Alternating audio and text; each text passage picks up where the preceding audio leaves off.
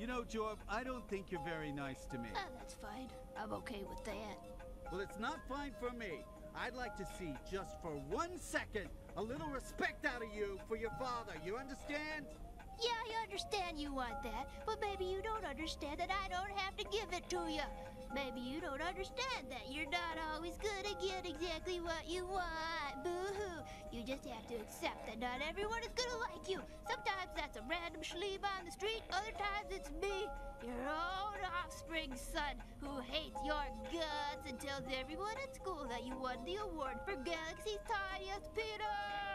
I literally tell everyone I know every chance I get. Most of them don't even know who you are. I just, I have no reason to tell them. I just do it because I hate you so much. And because it's fun for me.